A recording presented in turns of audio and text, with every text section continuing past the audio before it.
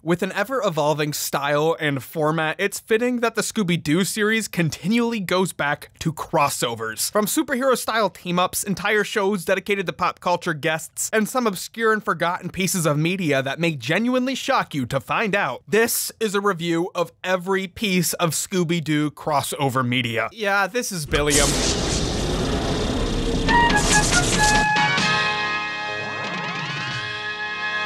It's taken me a really long time to truly appreciate Scooby Doo. When I started making videos about Scooby Doo on this channel, I really just wanted to appreciate the Scooby Doo I remember growing up with. But as I continue to watch more and more, I start to just truly and deeply appreciate the charm of Scooby Doo. I am done defending Scrappy. Now I want to review every single piece of Scooby Doo crossover media. I originally envisioned this big video as a third Scooby Doo marathon, but instead I just want to do one big super Scooby Doo special, cause he's special. And uh, I'm gonna go ahead and format it like an iceberg. If you're not familiar with an iceberg chart, an iceberg chart is like a graph meme that organizes information to the most well-known info to the most obscure, going deeper and deeper down the rabbit hole with each layer. So I'm gonna organize this video similarly, but not exactly. Layer one will be a review of all of the Scooby-Doo shows that have had guest stars and crossover appearances from other characters. Layer two will be about all of the straight-to-video Scooby-Doo films featuring guest stars and crossover crossover characters. Layer 3 will be an overview of other TV shows that have featured Scooby Doo characters officially as guest stars. And finally, Layer 4 will be about all of the terrifying, obscure Scooby Doo crossover media that you may or may not have heard of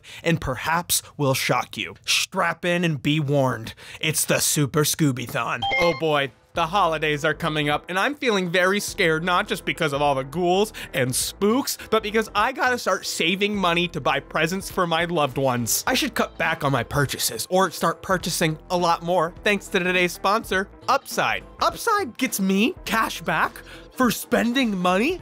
That's certainly a trick that gets you a lot of treats. It's true. Upside offsets inflated prices by offering you cash back on purchases. They partner with local businesses, kind of like a loyalty card or a rewards program, but with Upside, you earn up to three times as much cash back. You even get rewarded for doing chores like going to get gas or groceries. You just claim the offer like I am here with getting gas. I just claim the offer to get what I need. Cash back on gas? That's incredible. There are also multiple ways you can get your cash back delivered through PayPal, Amazon gift cards, or other e-branded gift cards, or you can just get it directly deposited into your bank account.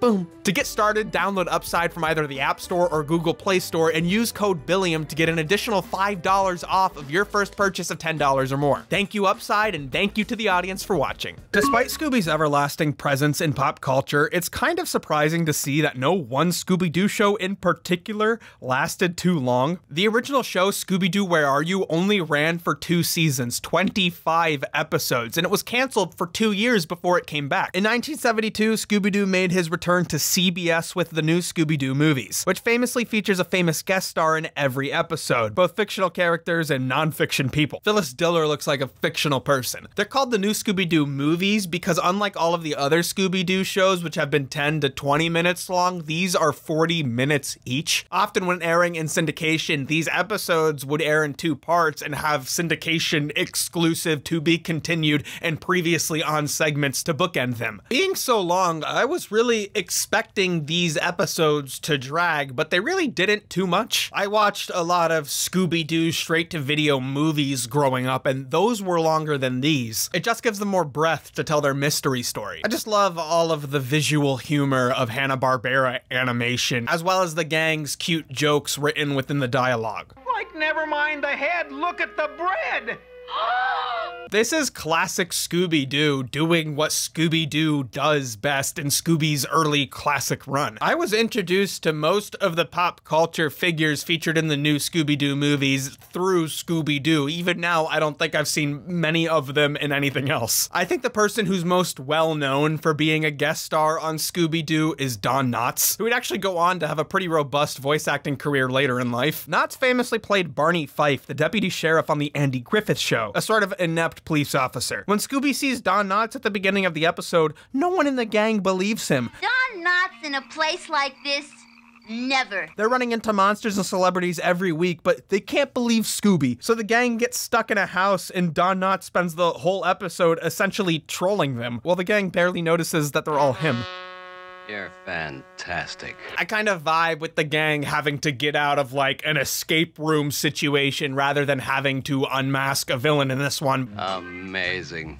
Too much talent for one man. Don Knotts would return again in a later episode where he and the gang finally get acquainted. They never find out it's him in the first one. Don Knotts would reprise this role in the video game Scooby Doo Night of 100 Frights. He gives you the instructions before the level. He's sort of become the face of these pop culture icons who have been in Scooby Doo, with a lot of later Hanna-Barbera cartoons having him on as a guest role. The ladies love the makeovers. But the ladies already love Johnny. and even What's New Scooby Doo drawing a caricature of him for one of the characters. Doing some research, it was pretty quick to piece together why many of these celebrities in particular were on the new Scooby Doo movies. They all have a connection to CBS, which was the network Scooby Doo originally aired on. Dick Van Dyke and Tim Conway were on The Carol Burnett Show. The Sandy Duncan Show started airing a year before. The Sonny and Cher Comedy Hour aired a year before. Jonathan Winters hosted The Jonathan Winters Show. Cass Elliot of the Mamas and the Papas hosted several TV events for CBS. Same for country singer Jerry Reed. Monkees vocalist Davy Jones is there because CBS started airing reruns of the Monkees TV show at this time. I also don't think I need to explain the presence of many Hanna-Barbera characters in these crossovers. Speed Buggy, the weird talking car and clone of Scooby-Doo makes an appearance. Scooby-Doo is afraid of him. Famous speed buggy. Uh, uh, that's me. How are you, Scooby Doo?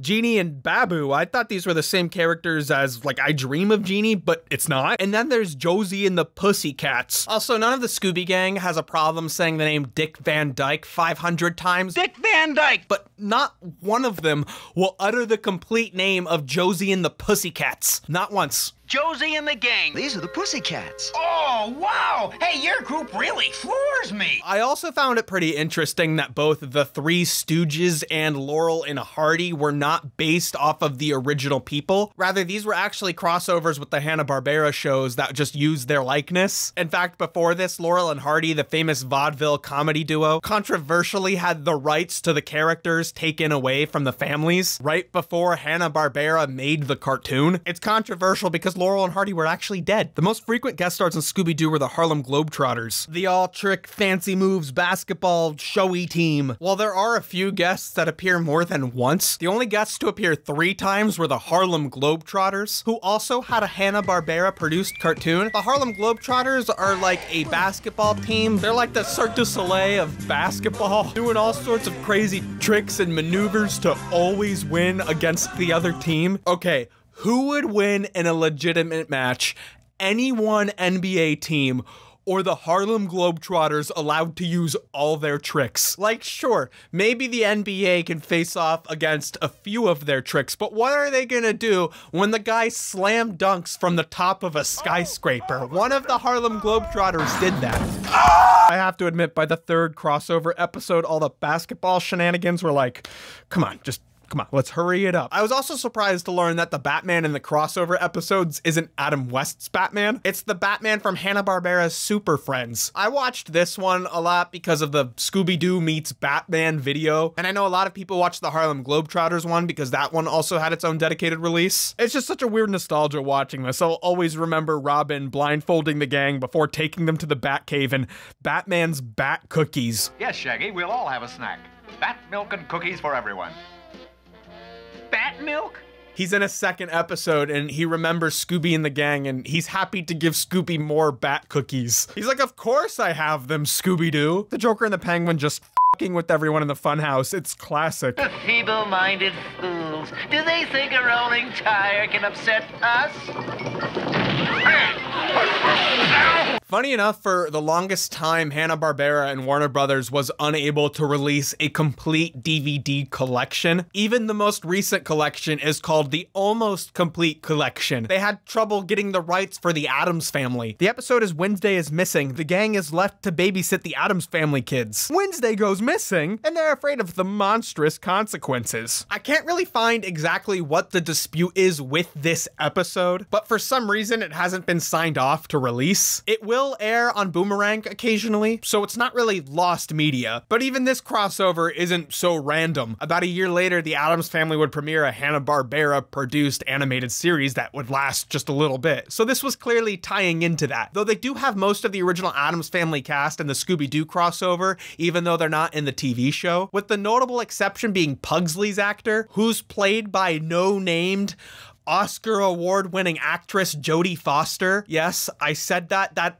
that is Jodie Foster. I had a blast watching all of these. The comedy and stories and all of Scooby's whodunit plots are charming to no end. It's not ending. And I'll always be in love with the classic Hanna-Barbera look. There's a quality to early Scooby-Doo cartoons that just can't be replicated. I appreciate the original cartoons so much. The wide framing gives the action such a great comedic quality. I also love the variety of vocal performances contrasting with the guests. It's fun listening to them give voice acting their best shot against the classic performances of all the Scooby Doo characters. Finish saying your prayer, Scooby? Uh-huh. Comment question What god does Scooby Doo pray to? Do all dogs go to heaven? Better check the scripture on that one. Like, look at Fred and Hardy beat up this monster. Fred is swinging his arms, the shoulders are just the axis point. Fred's also weirdly sexist in this one. It's like a consistent quality of his, but it balances out because he sucks at driving. This desert reminds me of a woman. Why's that? It goes on and on and on. Man. Fred? Comment question What does Shaggy need uranium for? Say, Sheriff, would it be okay if I took home this little bag of uranium as a souvenir? Why, sure, son. Here, hold this uranium. You light it. Now, since the new Scooby Doo movies, the guest star role has just become a part of the series' DNA, with multiple episodes of multiple Scooby shows featuring guest stars. Now, I've reviewed the shows in which these episodes appeared, so I'm not going to talk about them for too long. There are a few that appear outside of the shows where the gimmick is having a guest star every episode. The What's New Scooby Doo episode, Diamonds Are a Ghoul's Best Friend, features NHL player Brett Hull. I think you can guess who's in Simple Plan and the Invisible Madman. Steve Harwell from Smash Mouth also makes an appearance. And in the Scooby Doo Mystery Incorporated episode, The Mystery Solvers State Finals, we get a crossover team up with Scooby Doo and all of the characters that were ripping off Scooby Doo. I'm sorry, Fred, but we can't go to the finals with Scooby sick like this. Oh, right. No, of course not. Will you excuse me a second? Scooby has a fever, so they have to miss this like high school sponsored event, the Mystery Solvers State Finals. In Scooby's fever dream, he and all the other show mascots have to save their group of teenage mystery solvers who've been kidnapped and apparently turned into gerbils. Jabberjaw, the Funky Phantom, Captain Caveman, Speed Buggy, they're all here. But it turns out the Funky Phantom is behind it all. My heart is racing. I can't breathe. I'm going down. Ooh, he's hy- hy- hyperventilating, don't you know? Scooby Doo Mystery Inc. has a great outlook on Scooby Doo's history and even features a tongue in cheek crossover with the Blue Falcon and Dynomutt. We'll be talking about them a whole lot more later in the video when we talk about Scoob as well as the programming block Scooby Doo and Dynomutt used to share. Dynomutt is like this silly comedic relief type character who's paired with the Blue Falcon, who's also sort of a parody of all of the really boring superhero characters created by Hanna-Barbera. In Mr. Incorporated, the Blue Falcon has become this old, disgruntled Dark Knight kind of character. But what's amazing about this crossover is they keep Dynomutt the exact same character, so they contrast all of this like brutal action with like silly Hanna-Barbera sound effects. I'm gonna help you shed your skin, Snake. One scale at a time. Ooh, that me help you with that, BF, with my handy-dandy fishing magician. But as much as I love What's New Scooby-Doo and Mystery Incorporated, there's something lost when these shows are storyboarded and framed like they're an action show. I believe so much of the appeal of Scooby-Doo comes from the direct, head-on, wide, sitcom-style framing. So when I read an interview with showrunner Chris Bailey, who developed the most recent Scooby-Doo series, Scooby-Doo and Guess Who, on Scoobypedia, I was excited to hear about his philosophy for why it's important for Scooby-Doo and Guess Who to be rooted in the visual identity of classic Scooby-Doo. The gang's iconic run cycles, the endlessly long hallways, the darker color palettes, and the heavy reliance on slapstick visual humor all come together very well to create what I really feel like is the first very faithful modern Scooby Doo TV show, and to continue to play tribute to that classic formula, every single episode features a guest star. But I think since this show aired 50 years after Scooby Doo was created, as opposed to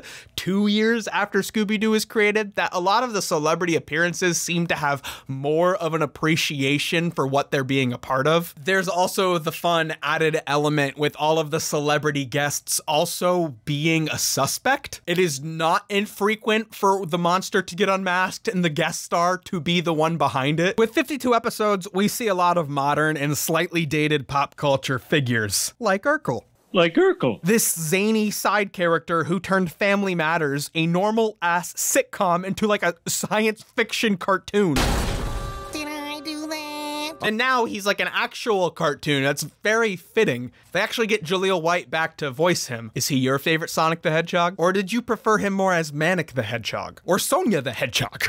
Yeah, Urkel's a little dated, and I've seen people raise an eyebrow to that, but you're just completely ignoring the fact that Laurel and Hardy were dead when Scooby Doo crossed over with them. He crossed over to the other side. The first episode features basketball player Chris Paul, who's uh, in a golf tournament, and he's trying to win the golf tournament to raise funds for this like youth program he's doing so he can help people learn to bowl. Let me get this right.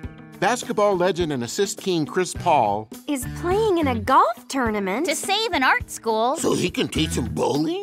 Now you're getting it. But there's other athletes like Terry Bradshaw and Laila Ali, Chloe Kim, and my personal athletic hero, Joey Chestnut, the Glizzy King, just eating hot dogs. This man literally has a world record for eating like 60 hot dogs in three seconds. Not that much, but I don't want to look up the math. I appreciate his humbleness because he allows both Scooby and Shaggy to beat him in an eating contest two times in the episode. So, like, thank you. And then Jim Gaffigan, he like hates eating with Shaggy and Scooby. They keep ri- racing to the next fast food place, and when they eat before the other one, they get mad at each other. Shaggy and Scooby are so excited to see Alton Brown that they're not even afraid of anything. They're just excited for the food. But we also have so many music stars like Sia, Halsey, Macklemore, Kacey Musgraves, Joseph Simmons from Run DMC, Axl Rose. Apparently, he won't get in a room with Slash, but he loves Scooby Doo. Kenan Thompson just loves writing jokes with Shaggy and Scooby because they make him laugh. There's a Ricky Gervais episode.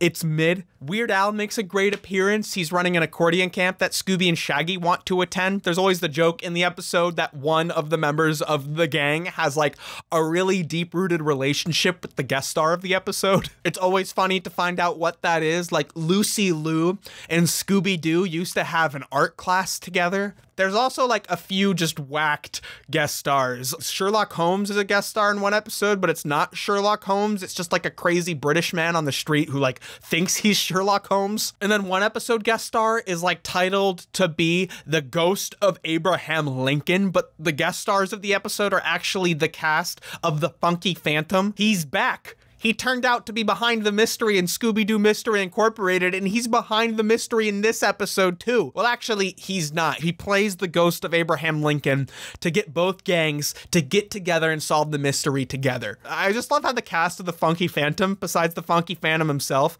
are, are also just like portrayed as assholes. looking for clues. I got a clue for you. Go home.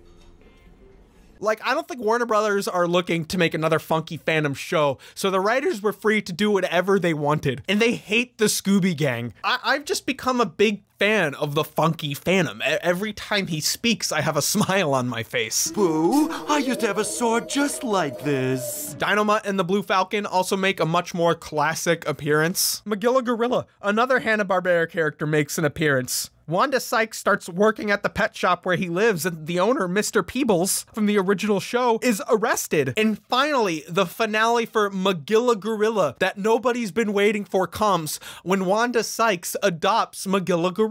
Morgan Freeman narrates a lot of the episode where he's a guest star. I was confused to see Lord of the Rings actor Sean Astin, but fun fact, his adoptive father also appeared in Scooby Doo, John Astin. He's Gomez Addams. And also, beautifully, Scooby Doo's current voice cast also makes an appearance as themselves. Scooby and the gang go to visit Frank Welker's house, and all of the classic villains start coming out of the shadows and kidnapping all of the actors. And it turns out that all four of the actors are dressed up as all four of the villains in the episode. As a way to highlight all of their creative talent, each one of the actors goes on to explain that they wanted to kidnap each other so they could take on their voiceover roles because of how much they admire each other. It's very sweet. And just once I wanted to play the role that Matt plays. I wanted to be the goofball knucklehead, the one who doesn't have to do anything serious. That would be so easy. Uh, it's a lot harder than it looks, Grey. The Batman crossover features a more serious Batman. What did you do with Alfred? We didn't do anything with Mr. Pennyworth, honest. Kevin Conroy comes back to voice him, and Mark Hamill comes back to voice the Joker, who is revealed to be behind everything at the end of the episode. They get involved with this Batman mystery because Daphne's uncle Alfred, Batman's butler, has been kidnapped. There's some great visual gags in this episode. I love when Fred and the rest of the gang are going around Wayne Manor, and just naturally, Fred discovers some of the secret switches that lead into the secret Batman rooms. Like, that's what they do. But besides Batman returning, there's also a fun crossover with Wonder Woman where the gang actually has to try to save the monster because Wonder Woman wants to kill it. And I love the beautifully written crossover with The Flash, One Minute Mysteries. It's like a Scooby Doo What If where we revisit a lot of their classic mysteries from the original show and show how quickly they could have solved it if The Flash was there. Now let's see who this ghost of Captain Cutler really is. It's also fun to see what bits the new guest stars fall into that exist within the Scooby gang already. Laila Ali tells Shaggy to be brave. And like Jeff Foxworthy tries to convince Fred he's a country boy. A little bit of country in him. Gosh, how would I know for sure? Well, have you ever had to move a transmission so you could take a bath? Sure. The bathtub is the perfect place to strip and re-gear a transmission. Definitely a country boy. the guest stars that I really found myself appreciating, however, were the guest stars who were also in the new Scooby Doo movies. Both Cher and Sandy Duncan make an appearance in both series. And the Sandy Duncan episode in Guess Who is framed as a bad remake of the original. But the final guest for Scooby Doo and Guess Who is Carol Burnett, which is just such a fitting and well deserved guest spot for her. After both Tim Conway and Dick Van Dyke's appearance, maybe she was a little too big for Scooby Doo back in the day. But now Scooby Doo's big enough for her. Tier 2 Scooby Doo movies.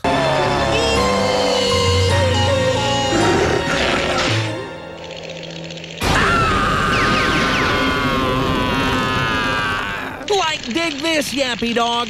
We'll handle all the creepy villain angles on this network. Well, Yappy Dog. Since 1999, Scooby Doo has either had one or two direct to video releases every single year. With nearly 40 titles in its catalog, it's no wonder that many of these are crossover films, but I kind of like the fact that they still make Scooby Doo films. When all of the shows are trying out different formulas, they have this consistent release every single year that pays tribute to traditional Scooby Doo. So it's like if you don't like whatever gimmicky thing they're doing, they have like two great feature length episodes every year. And I think the longer format does work all right for Scooby Doo, as it does for many mystery shows. If Sherlock can be an hour and a half, Scooby Doo can be an hour 10. So the first direct to video Scooby Doo film to be a crossover was from 2012 Scooby Doo and the Mask of the Blue Falcon. This one's kind of a compliment to the Mystery Inc. episode because it's not really about the Blue Falcon, rather, the Adam West type character who used to play the Blue Falcon. He's feeling lost in the spotlight as everybody starts looking towards the new, edgier Blue Falcon reboot. Scooby and Shaggy like the classic Blue Falcon, but Fred's all about the edgier one. The masked monster in this movie is also a callback to Scooby and Dynomutt's crossovers of the past, Mr. Hyde. It's also filled with a lot of different Hanna-Barbera references. But I do kind of wish the Hanna-Barbera world could exist alongside Scooby-Doo instead of being like the major fandom in the show. But that's also kind of funny. It's kind of funny that everybody in the Scooby-Doo world is really into Hanna-Barbera properties. I find it hard to really critique a lot of these later Scooby-Doo films because I think the quality is pretty consistent, but there are some standout ones. So this one's just kind of like your average Scooby-Doo film. Next from 2014, we have Scooby-Doo and the WrestleMania Mystery. For the longest time, this was the first and only clip I ever saw from it.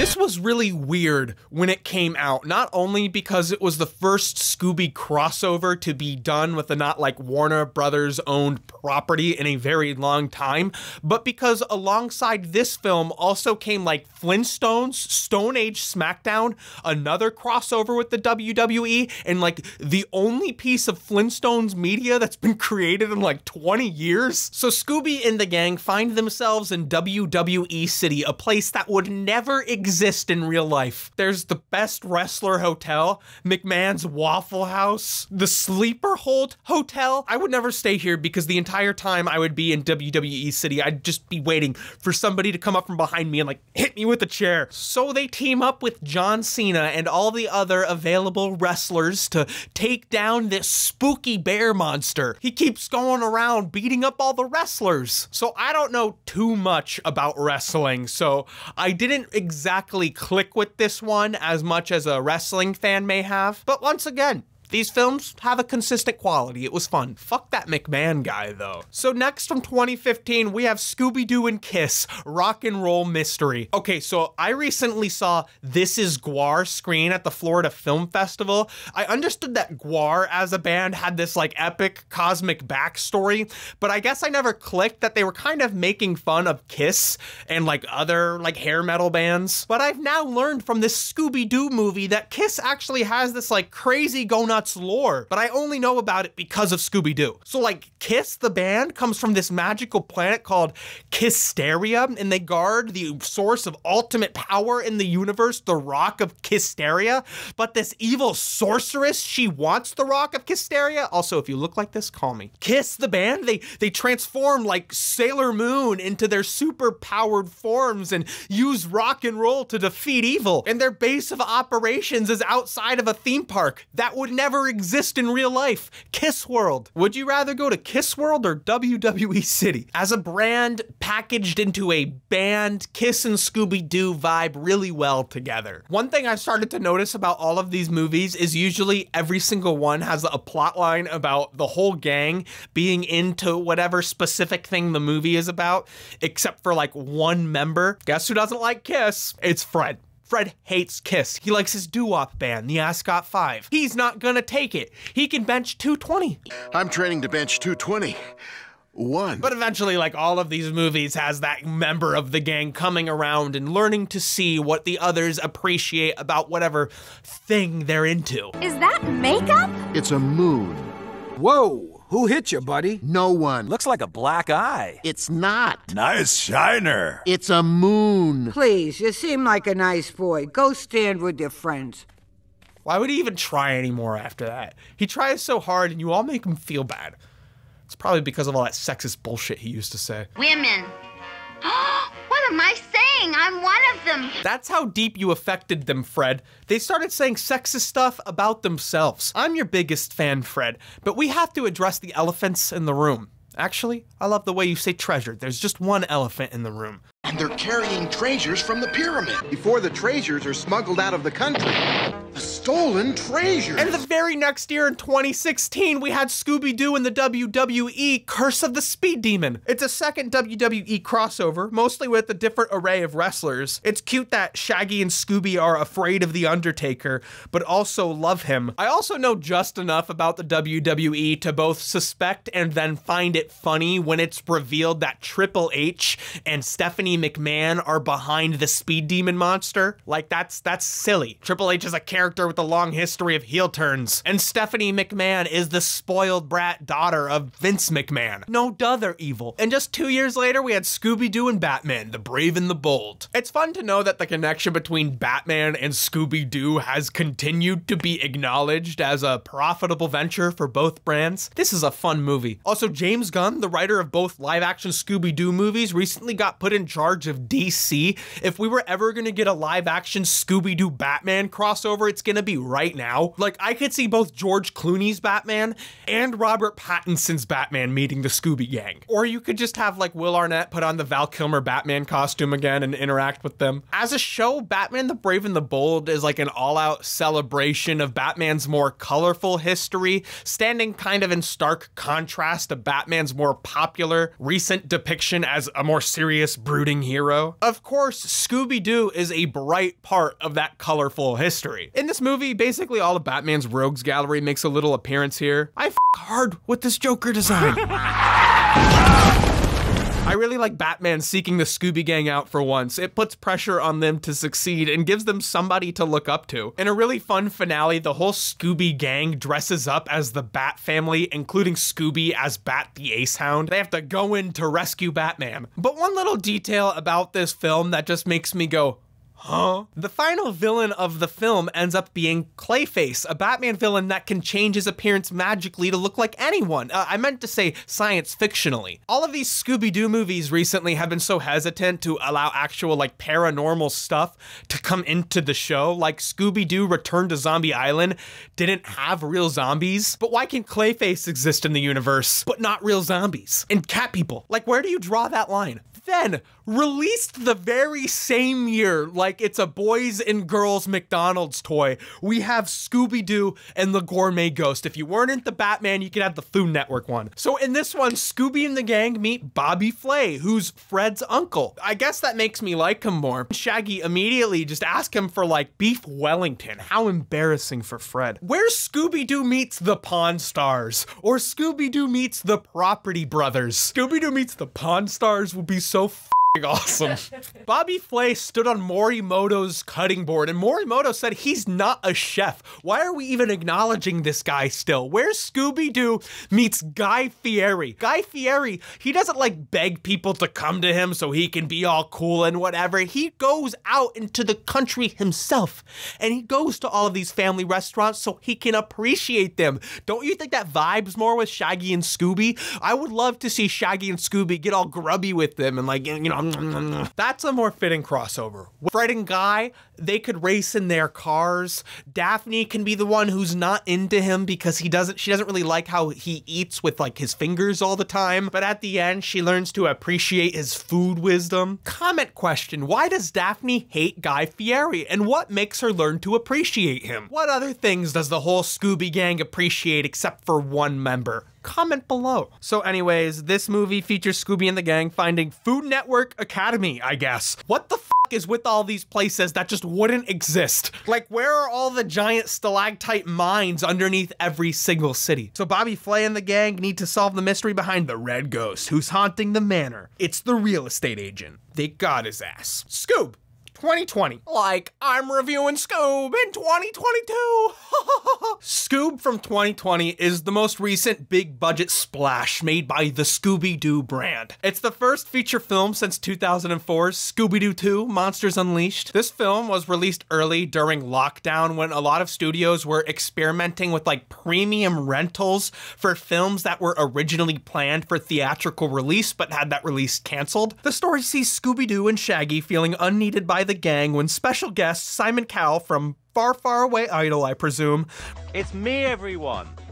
For what is a man? Refuses to invest in a recently incorporated Mystery Incorporated. So Shaggy and Scooby Doo are picked up by the Blue Falcon and Dynomutt while they're being pursued by a group of vicious scorpion robots. Feeling empowered by being recognized by their favorite superhero, Shaggy and Scooby find their friendship tested as they come against their most dangerous villain yet Dick Dastardly from Wacky Races. Usually he has a dog that goes.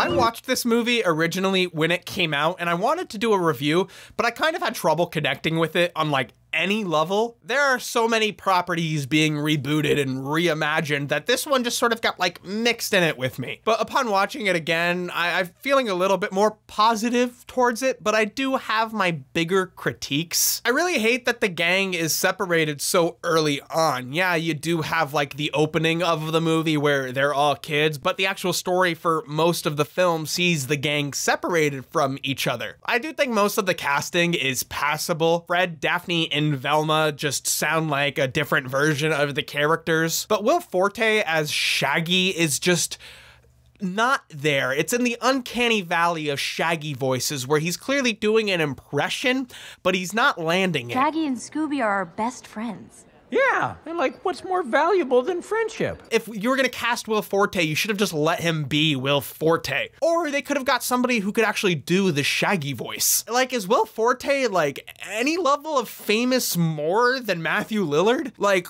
3% more famous, maybe? But then I think Shaggy's voice is just as iconic as Scooby's. They're a comedy duo. They keep Frank Welker's voice as Scooby Doo. They should have also kept Shaggy's voice. And you know what? Why not just keep everyone's voice? I also didn't immediately recognize Ken Jeong as being a miscast when I watched the movie initially. I was too focused on Mark Wahlberg playing the son of the Blue Falcon, Brian. At first, I thought he was kind of the weak link in this duo, but they should have kept Dynomutt's original voice and kept the same dynamic they wrote for the movie, with Dynomutt taking on the more serious role with the new Blue Falcon being young and inexperienced. It would be so funny to have Dynomutt with the same silly voice getting irritated at Brian. that's not the Blue Falcon, that's just Brian. Like, to me, Dynomutt is a character like Scooby Doo, where his character has to be the original version. But Blue Falcon is kind of like a parody of boring superheroes. It could be anyone. It would just be so cute to have that original voice without the goofball personality, like he's all grown up now. It's also disappointing because when this movie was originally announced, it was conceptualized as a much more robust crossover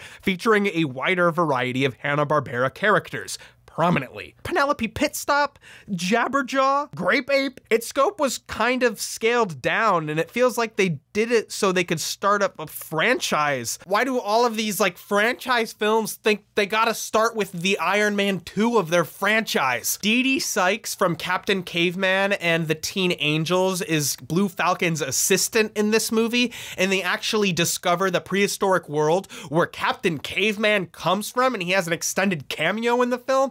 But if you look like this, call me. There was no guarantee that this film was going to have a sequel, even if it was a theatrical release.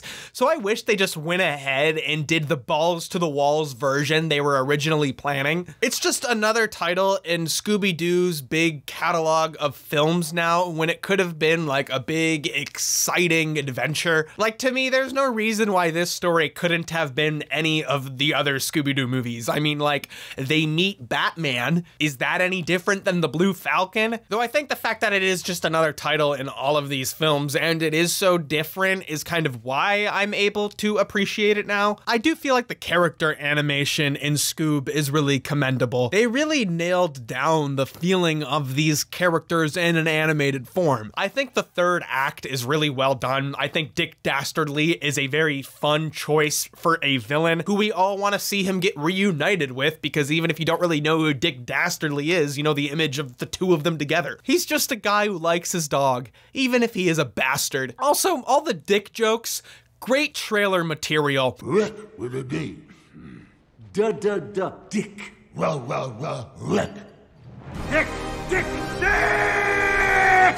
But they still won't let the gang say Josie and the Cats. Next, released the very same year as Scoob, we have Happy Halloween Scooby Doo. This is a Scooby Doo film that I think a lot more people should have paid attention to, but I think interest in it was kind of diluted because of Scoob. I mean, all two people who had high expectations for Scoob, me and that guy on Instagram who literally responds Scooby Doo to every single one of my posts. He only gave up a few months ago. You broke my heart.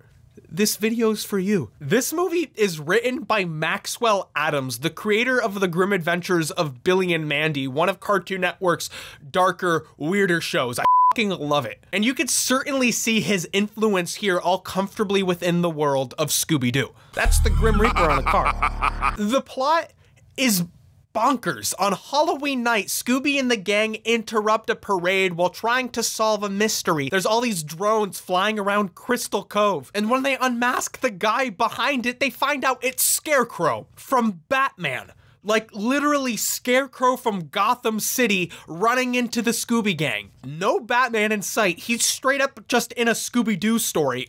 I love how they play within the toy box they're given. So Scarecrow, he insists he's being framed and he's arrested. And after he's arrested, everybody in town starts turning into zombie pumpkins. They're flying around everywhere. After the mystery machine is destroyed, the gang and a few others get chased out of town by a convoy of evil pumpkin headed zombies driving cars. Along for the ride is Elvira, explained to have been hosting the Halloween party interrupted by Scooby and the gang's mystery, and Bill Nye, who acts as the guy in the chair for the gang as they ride in their newly provided high tech mystery Machine X. Fred hates it. This thing has it all.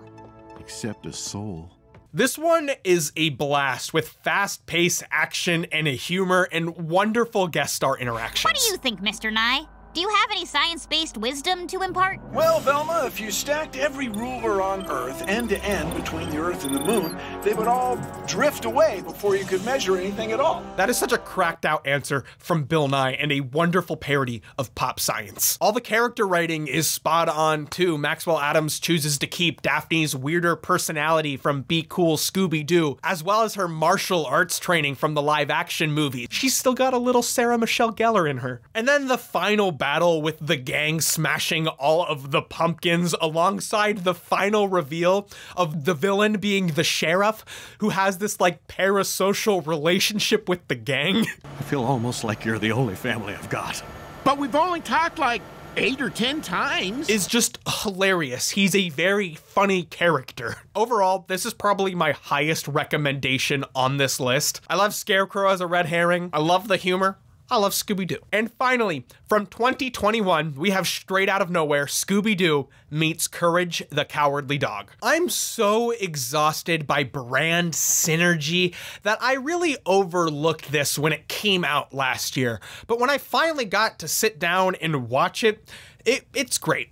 It's a wonderful celebration of Courage the Cowardly Dog, and it's not something I really knew I wanted until I saw it. I think the best crossovers is when one property is firmly planted into the world of another. But with a lot of recent Scooby Doo movies being hesitant to acknowledge anything supernatural existing in this world, I was kind of nervous to watch this because Courage the Cowardly Dog is exactly that weird paranormal bullshit. But indeed, Scooby Doo goes straight into nowhere. While the gang is in the town closest to nowhere, the home of Courage the Cowardly Dog, Scooby and Courage both start hearing a strange frequency which brings them close together. The gang follows Scooby Doo to the farmhouse, where he meets Muriel and Eustace from Courage the Cowardly Dog. Muriel is so beautifully written, she doesn't really understand what the gang means when they tell her they go around solving mysteries, so she keeps giving them riddles, which isn't really their thing. It keeps frustrating Velma. I Can't believe I don't know. Why, it's the stars, dear. The stars! Ah, I can't believe I didn't get that! But Muriel is so sweet, she could never get mad. I also love when she offers Courage and Scooby her very sweet homemade Courage snacks instead of Scooby snacks, but later on she reveals that they're just store bought and put into a little jar. It's also really special to hear Thea White as Muriel one last time so soon before she died. It would be very difficult to imagine any future Courage the Cowardly Dog projects without her. Eustace is just a shitbag as always. He has this funny little rap in the middle of the film where he talks about all these treasures he's recently gotten. but he just takes the opportunity to scare not only Courage, but Scooby and Shaggy for the entire film. Then he like insults Scooby and Shaggy's sandwich making skills. He's like, You're putting too much mustard on it. But in private, he's shameless to take their suggestion to put more mustard on the sandwich. I do think this movie was missing a dreadful ending for Eustace. So many Courage the Cowardly Dog episodes end with him like getting murdered or stuck in a dangerous situation as Muriel and Courage get out of it. Eustace needed to die in this movie, like he does in so many episodes. And I am not cynical enough to have been immune from Courage, Shaggy, and Scooby all bonding over how cowardly they all are. They listen to a self help book together, and by the end of the film, they all realize that they're all brave because despite the fact that they're so afraid, they go and do the right thing anyways. Oh, and also, like, Scooby and Courage, whenever they hear that frequency that nobody else can hear, it's the little medley that plays from Courage the Cowardly Dog. Whenever Courage is going around trying to do stuff, the little do do do And like seeing Courage and Scooby like dance to that song a little bit is so adorable. in true mystery solving fashion, Scooby Doo does in fact explain all of the weird stuff that happens in nowhere, but they don't explain it away. It just allows you to accept the Courage of the Cowardly Dog show as it is. But what's kind of funny about this is I think this might be the last Scooby Doo movie in this style. The most recent movie, Trick or Treat Scooby Doo, uses the Scooby Doo and Guess Who style. So, in a funny way, this is like a finale. They figure out the supernatural does exist in nowhere. Going back and watching a lot of these Scooby Doo movies that I've missed over the last 15 years, once again, I have been surprised to see the consistent quality. They're able to create fun side characters and fun mysteries for pretty much every single one of these. But I specifically appreciate two things. One, the baller intros every single one of these movies have. They go hard. And two, Fred's new catchphrase. Shaggy says zoinks, Daphne says jeepers, Velma says jinkies, Scooby says rutro, and Fred now says, hold the phone? Hold the phone! And how Freddy says, Hold the phone! And what phone are you supposed to be holding exactly? It's kind of perfect. It's not too flashy.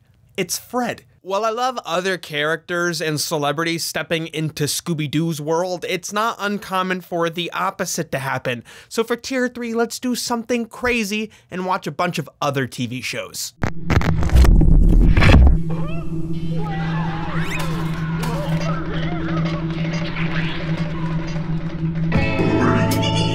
The first TV show to ever feature Scooby Doo characters as guests, to my knowledge, is Dynomutt Dog Wonder. The show crossed over with the Scooby Doo Gang three separate times, all to promote a single hour long programming block called the Scooby Doo Dynomutt Hour. I was kind of surprised to see that the show wasn't called The Blue Falcon. Dynomutt is fearless, scareless, and a little too careless. He's fearless, scareless, a little too careless.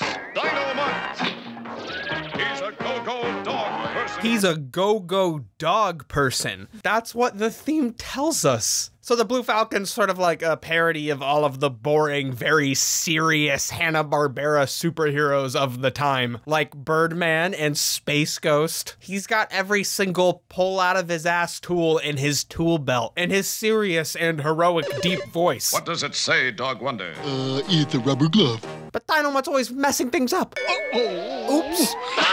Oh no. Another malfunction. It's cute that Dynomutt calls Blue Falcon BF. It stands for Blue Falcon, obviously, but it just sounds like he's saying best friend. The first episode of Dynomutt, Everybody Hide, features the Scooby Gang and the Blue Falcon going after the evil Mr. Hyde. A different Mr. Hyde than Scooby and the gang previously faced off oh. against. Oh no!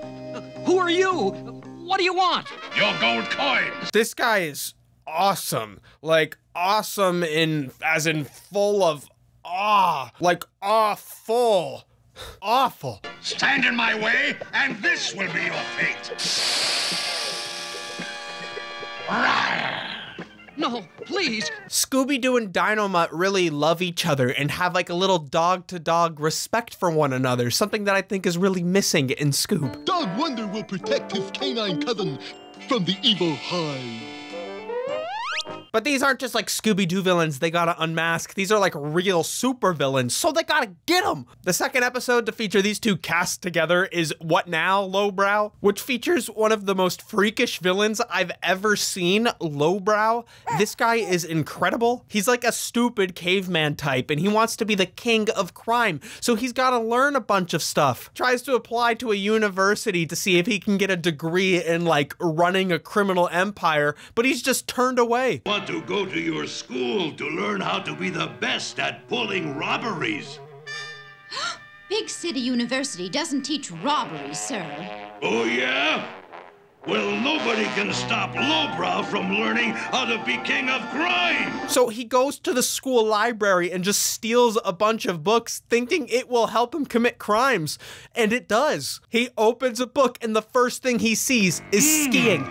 This is the one. Bam, he uses it to commit a crime. This ski jump is my best crime idea yet. He opens another book. The first thing he sees is heavy machinery. Bam, he uses it to commit a crime. You literally can't give this guy any ideas. I mean, any ideas. He'll use it to pull a job. And then after Scooby and the gang helps Dynomutt and Blue Falcon defeat Lowbrow, he treats them to a nice gourmet turkey dinner he puts it on the Falcon card. There's also that one clip where he goes to the mall to like get a replacement part for Dynomutt. It's just like this department store happens to carry all the parts he needs for his like cyborg dog. Excuse me, his go-go dog person. This is like Go Go Gadget. It's not anything like and finally, the episode The Wizard of the Ooze features another wonderful villain, Casey Kasem doing a strained Louisiana accent for this like rat guy. Look, I step on you if you don't get out of here. Scooby and the gang accidentally capture Blue Falcon while looking for a ghost. So they help Dynomutt catch Swamp Rat by having Shaggy and Scooby dress up like the Blue Falcon and Dynomutt. Solid gold and the Fool Falcon miles away. That's what you think, Swamp Rat. How do you? You didn't count on the Falcon all-purpose disguise capsules, Swamp Rat. I mean, yeah, they probably would make this in a world like that.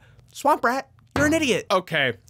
This may be my personal favorite Scooby Doo crossover. The Johnny Bravo episode, Bravo Dooby Doo. I watched this a lot because it was included as a special feature on the Scooby Doo Goes Hollywood video. So Johnny Bravo, the hunk, is hitchhiking on his way to his Aunt Jebedissa's house. His car breaks down when he's picked up by the Scooby Gang. The haunted aesthetic of Aunt Jebedissa's house entices them to investigate when Giga Gag Johnny Bravo gets mixed up in their typical antics. What makes this 11 minute cartoon so awesome is just like the spot on character comedy. Now, hold on, everybody.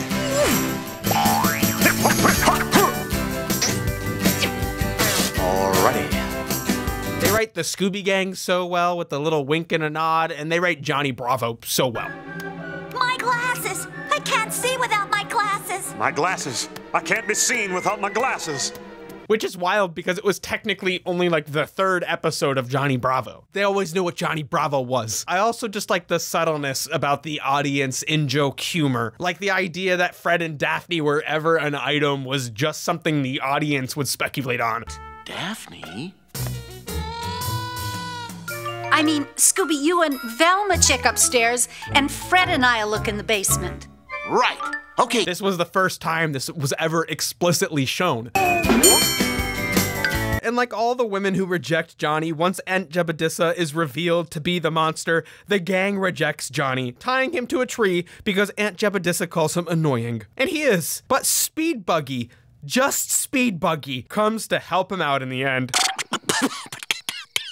It's just like a really nice celebration of Scooby Doo when there wasn't a lot of Scooby Doo media coming out. This came out in like the mid 90s. And it's a fun, fitting nod from a Hanna-Barbera show that it saw itself as more modern to another classic show. Next from 2002 is Harvey Birdman Shaggy Busted. To understand what Harvey Birdman is, I first have to kind of explain to you like Adult Swim's style in the late 90s and early 2000s. So a lot of Adult Swim content used used to be made for really cheap, and because of that, they would recycle and parody a lot of old Hanna-Barbera cartoons. Like Sealab 2020 became Sealab 2021, and many of the superhero shows like Space Ghost and Dino Boy became something completely different. Space Ghost became Space Ghost Coast to Coast, an improv celebrity interview series where Space Ghost, a cartoon, interviews celebrities. Hey, how are you, Ghost? I'm on the phone, that's how. Rude in a kind of Eric Andre show way, everything's cut down to just have the funniest bits, and some of this stuff is just wild. so, following that train of thought, Harvey Birdman is also recycling old Hanna-Barbera characters. Harvey Birdman is originally from Birdman and the Galaxy Trio, an equally lame to Space Ghost Hanna-Barbera cartoon. But now, Birdman has hung up his superhero ways to become a superhero attorney like She-Hulk and Daredevil. But instead of representing all the Marvel superheroes, Harvey Birdman represents the characters in his universe, the Hanna-Barbera universe. Fred Flintstone as Tony Soprano is one of the funniest things I've ever seen, mostly because I'm really into the Sopranos right now. You gonna do? So Shaggy is pulled over under the suspicion of smoking weed, and right off the bat, there's a great visual gag when the animation cuts to the real life dash cam pointed at the mystery machine. They're arrested, so Fred comes to Harvey Birdman for help. What I find very funny here is it's never explicitly stated that Shaggy does or doesn't smoke weed. Most of the suspicion just comes from his personality and the way many of the Scooby Doo animation is drawn. They use a lot of awkward frames from the show as evidence of them being high. And then there's this beautiful moment. Get on, Scoob! it just dawned on me. Scooby Dooby. Oh, okay.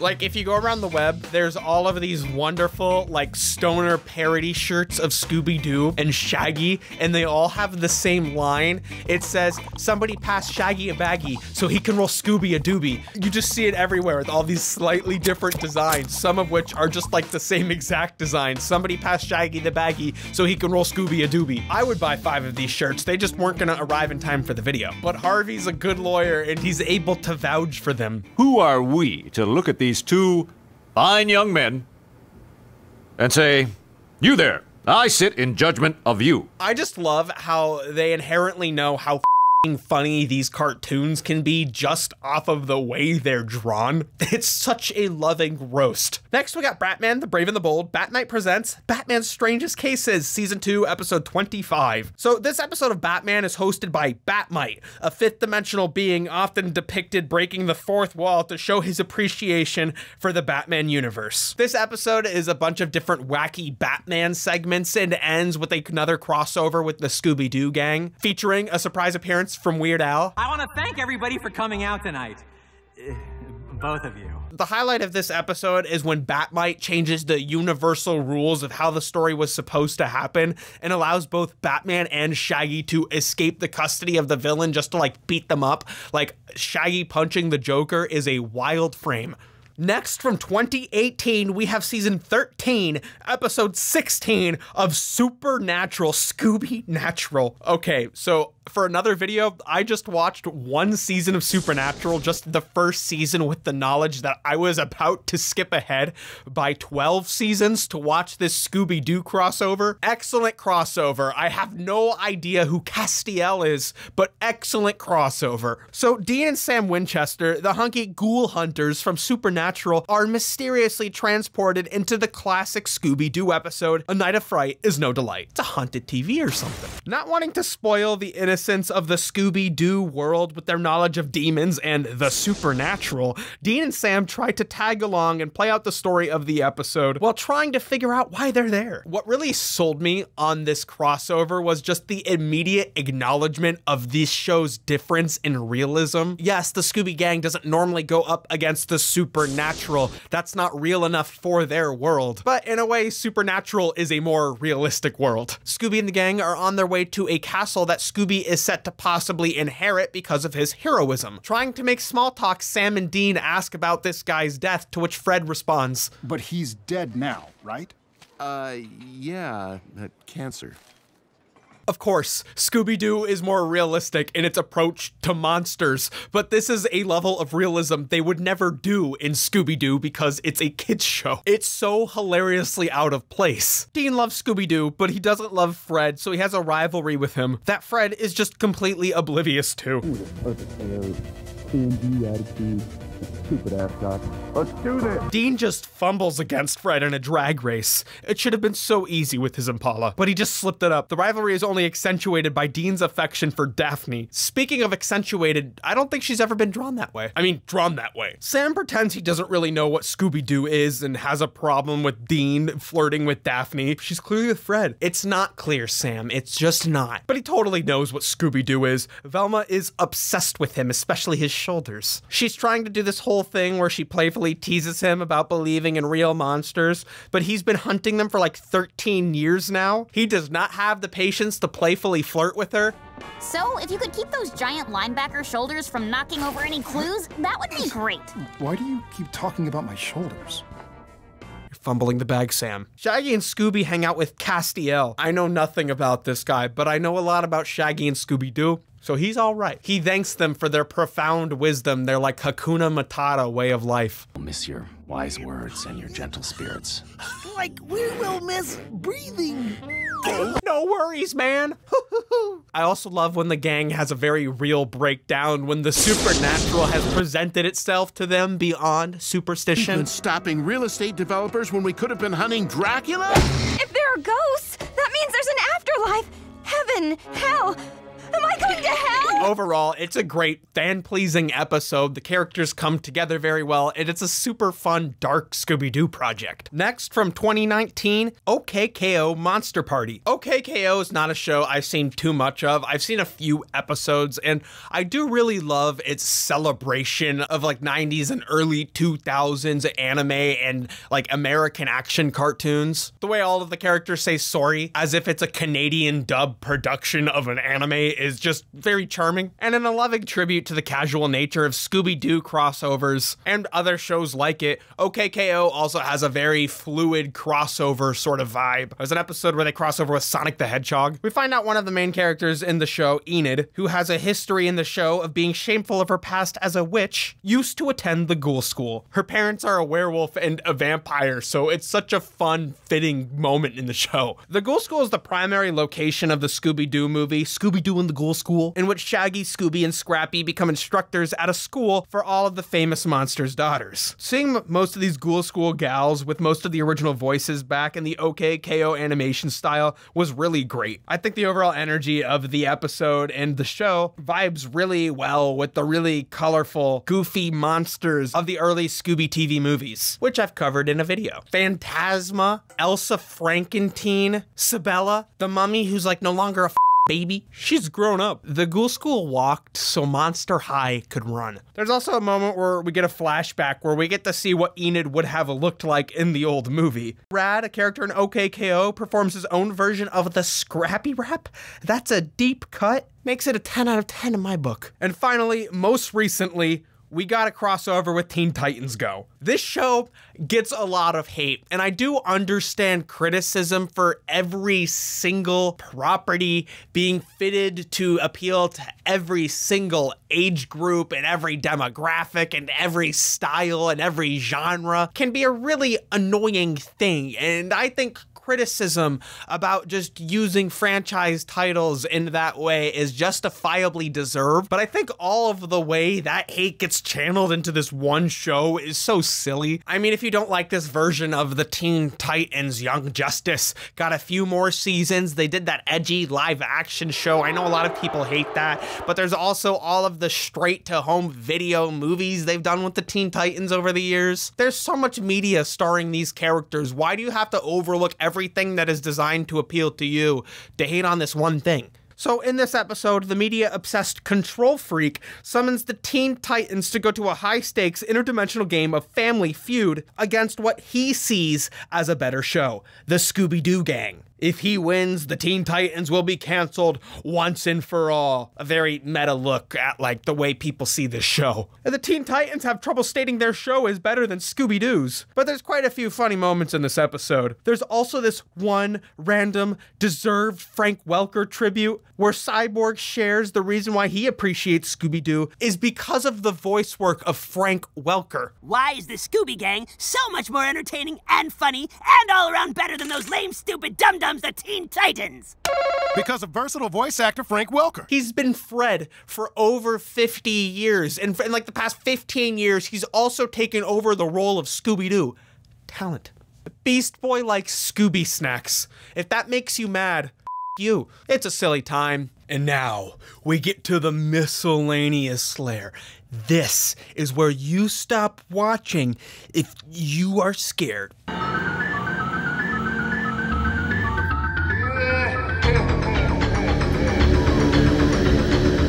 This is some of the most obscure Scooby Doo media. If cartoons that haven't been seen by a lot of people scare you, get away. So, first, we have Scooby's All Star Laugh Olympics. This show is bullshit.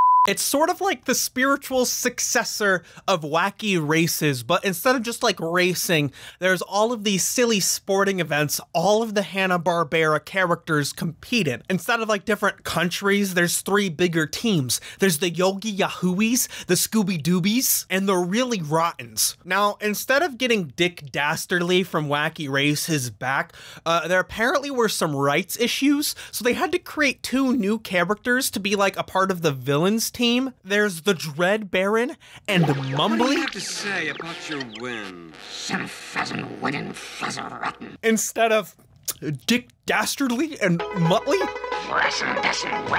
Like, what? Daisy Mayhem's an original character for the Really Rottens? Also, I want to be on Team Really Rotten. So these are like just a bunch of silly little sketches with the Hanna-Barbera characters and characters that aren't on like a team officially often have like guest roles on the sidelines as they commentate on things.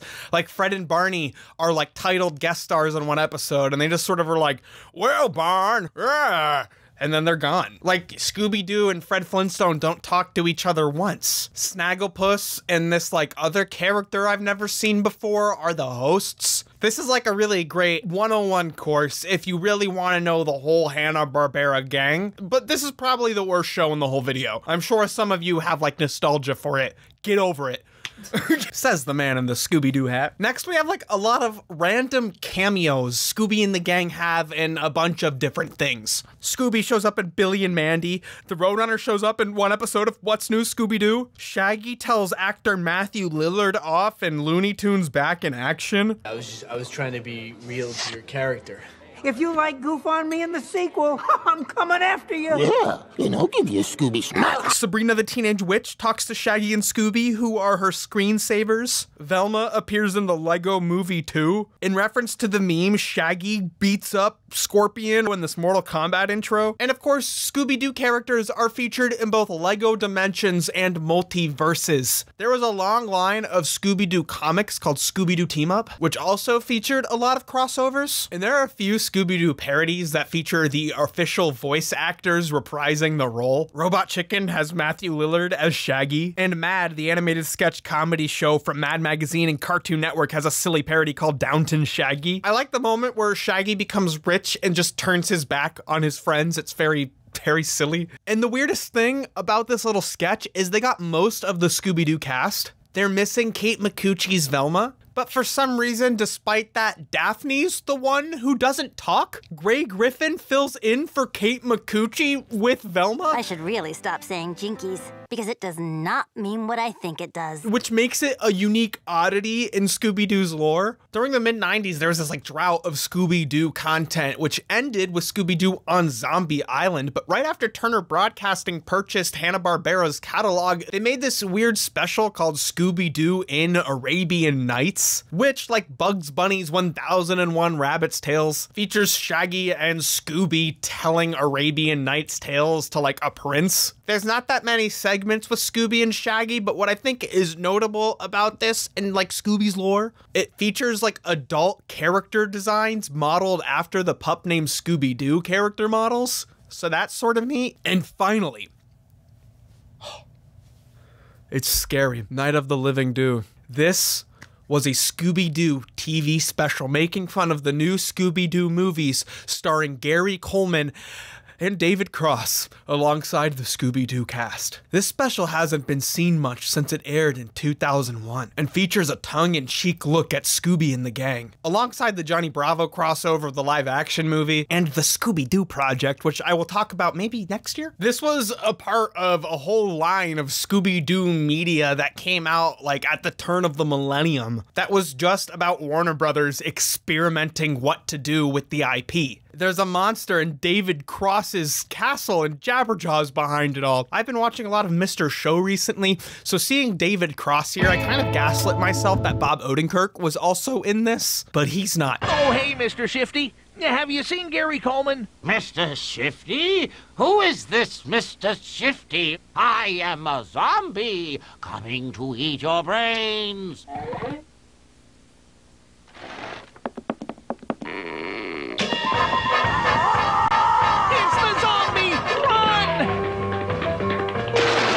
And finally, most recently, we have Scooby Doo in Where Are They Now? A made for TV special that is a sort of parody of behind the scenes reunion specials, all made for the 50th anniversary of Scooby Doo. The actors who play the mystery gang, because they don't actually solve mysteries, are invited to the Warner Brothers lot for this reunion special, after which they're told there's a real mystery for them to solve. There's a lot of silly, like, show business humor in this. Some of it doesn't land, and some of it really lands. Like, they interview a lot of the fake crew members who used to work on the show. But they also interview a lot of the voice actors, so they do break the fourth wall to allow there to be some worthwhile content. I really love the moment where it's revealed that Scooby Doo is actually a classically trained actor, and it's actually taken him a lot of training to get the Scooby voice down. That's where I come in.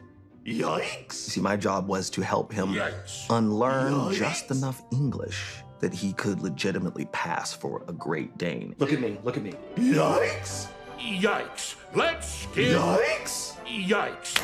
I had to drill it line by line, day by day, taking it very slowly until he got it just right. Yikes! Yikes! Yikes! So he Yikes! really, yikes. really found the essence of this character. There's also cameos from a slew of different Hanna-Barbera characters talking about the Scooby Gang and their success like they're celebrities. Even the Powerpuff Girls. The person behind it all is the supposed sixth member of the gang who was cut before the show ever got to air. a little fake story. This one's only weird because I had never heard of it. I was so into Scooby Doo that I was missing Scooby Doo news. I do love the sad unmasking montage from this special as well. It's it's very silly. So that was it. That was the Scooby Doo crossover iceberg. I've had a lot of fun of doing this one. It was a little bit more of a relaxed experience than my previous Scooby-Doo marathon. You know, the pandemic and I was also like in the middle of a move during all of it. So it was fun to visit Scooby-Doo when I wasn't super stressed and tired. Visiting Scooby-Doo from this angle, I've gotten to view things from Scooby-Doo's entire history. And in doing that, it's pretty easy to see why Scooby-Doo is a show and property that persists. It's never gonna be the big thing that everybody is into, but everybody's seen it. Scooby-Doo is still popular today because it was created to be a contrast to all of the superhero action shows that Hanna-Barbera and other studios were making at the time for kids. And in 50 years, the popularity of that stuff has persisted, and so has Scooby-Doo in a way as an institutional piece of contrarianism, except for Scoob that tried to do what everyone else was doing. But he's allowed to once in a while. I've been watching a lot of Columbo recently, one episode. and Peter Falk played Columbo until he died. Who done it? Mysteries are always going to be appealing. And Scooby Doo, he's a cartoon. he's not going anywhere, and neither am I. See ya.